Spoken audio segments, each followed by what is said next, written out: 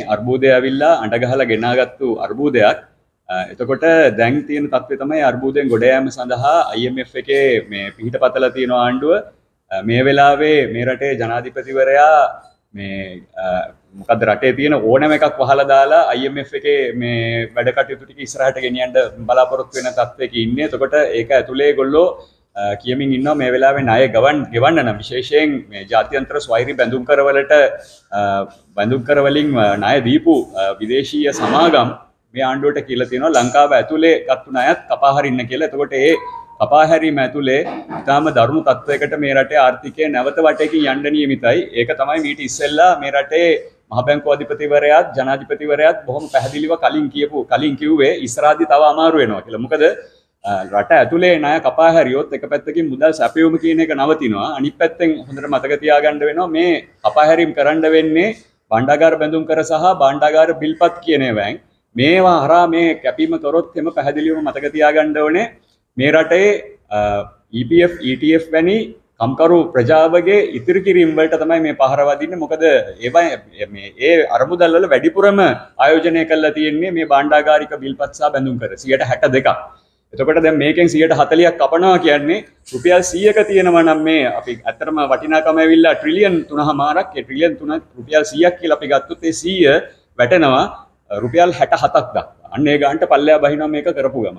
එතකොට මේ වෙලාවේ ජනාධිපතිවරයා කියන්නේ බැංකු වහලා හරි එහෙම නැත්නම් මේ මොනවද කොටස් වෙළඳපොළ වහලා හරි මේක කරනවා කියන කාරණාව මොකද ඒ ගානට ගිහිල්ලා තිනවා සහ මේ IMF කොන්දේසි කියන්නේ අන්න එහෙම එකක්. එතකොට දැන් ඒකත් එක්ක මේ වෙලාවේ මේ රටේ මේ ආර්ථික අර්බුදය තවත් තීව්‍ර වෙන්න නියමිතයි. ඒ තීව්‍ර වීමත් එක්ක පැහැදිලිවම මේ රටේ මහ ජනතාව එළියට මේ බහින්න නියමිතයි. එතකොට ඒ සම්බන්ධයෙන් ගත්තම මේ වෙලාවේ පාර්ලිමේන්තුව ගත්තත් පාර්ලිමේන්තුව ඇතුලේ මේ සම්බන්ධව එහෙම ලොකු හැඟීමක් නැහැ කියන එක අපිට පේනවා. ඒ නිසා අපි පැහැදිලිවම මේ වෙලාවේ කියන කාරණාවක් වෙන්නේ මේ රටේ ඉන්න වෘත්තීය සමිති, බහුජන සංවිධාන සහ සියලු අනික් සිවිල් සංවිධාන එකට එක්කහු වෙලා මේ තත්වයට මුහුණ දෙන්න අවශ්‍යයි කියන එක. එතකොට මෙන්න මේ පදනම ඇතුලේ අපි දරපු උත්සාහයක් විදිහට මේ වෙලාවේ මේ රටේ ස්වාධීන වෘත්තීය සමිති, බහුජන සංවිධාන, කාන්තා සංවිධාන, ඒ වගේම තවත් ක්‍රියාකාරීන්, ඒ වගේම කලා ශ්‍රමිකයින්ගේ සංවිධාන ඇතුළු මේ රටේ සංවිධානය වෙන්නට පුළුවන් දේශපාලන පක්ෂත් එක්ක සම්බන්ධ නැති සියලුම සියලුම පාහේ සංවිධාන මේ වෙලාවේ එක්කහු වෙලා එකට මේ දිනයක් පවත්වන්න තීරණය කරලා තියෙනවා.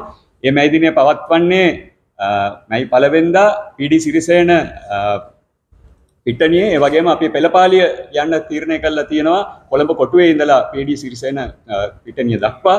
එතනදී අපි මේ රටේ තියෙන මහ ජනතාවගේ සියලුම සටන් සියලුම පීඩාවට පත් වුණු සටන් පාටෙන් අපි අපේ වෘත්ති සමිති සහ බෞද්ධ සංවිධානය ඇතුළු මේ මැයි දිනය තුල අපි මේ නියෝජනය කරනවා. ඒ නිසා මේ වෙලාවේ අපි මේ රටේ මහ ජනතාවට කියා සිටින්නේ ඒ වගේම සංවිධිත ක්ෂේත්‍ර හැම එකකටම කියා සිටින්නේ එක්කහු වෙන්න අපිත් එක්ක මොකද හේතුව ඉස්සරහදී අපිට මේකට එක්කහු නොවි මුහුණ දෙන්න පුළුවන් කමක් නැහැ හැමතැනම සංවිධානගත වෙන්න ඒ වගේම එකතු වෙන්න මේ එකතු වීමේදී අපිට සමහර වෙලාවට අර ඉස්සෙල්ලා කිව්වා වගේ සමහරවිට මේ රටේ පවතින දේශපාලන ව්‍යුහයන් කියන එක ගත්තාම ඒ පවතින දේශපාලන ව්‍යුහයන් මේ වෙලාවේ මහ ජනතාවගේ පීඩනය දිහා හැරිලවත් බලන්නේ හැරිලා බලන්නේ නැති හේතුවක් තියෙනවා. ඒ තමයි ඒගොල්ලෝ දන්නවා හැරිලා බලලා කරන්න පුළුවන් දෙයක් නැහැ කියලා මේ ගිය පාර වැරදි කියන එක. මේ පාර වැරදි කියන එක තේරෙන්නේ හෙට අනිද්දා තෙල් පෝලිං වලින් හෝ ලයිට් කැපීමෙන් නෙවෙයි. මිනිස්සුන්ට බඩගින්න ඉන්න වෙන සහ රස්සාවල් නැති වෙන තත්ත්වයන් ඇතුලේ තමයි මේක බලන්න වෙන්නේ. ඒ නිසා අපි නැවතත් ආයාචන කර සිටිනවා මේ රටේ ඉන්න සියලුම මහ ජනතාවට සංවිධානය වෙන්න සංවිධානය වෙලා එකතු වෙන්න එකතු වෙලා මේ වෘත්ති සමිති සහ බහුජන සංවිධාන ඒ වගේම අනිකුත් සියලුම සමාජ ක්‍රියාකාරීන් එක්ක එකහු වෙලා මේ තත්ත්වයට මුහුණ දෙන්න ඒක නියෝජනය කිරීම සඳහා මේ දිනයට සහභාගී වෙන්න කියන ඉල්ලීම අපි කරසිටිනවා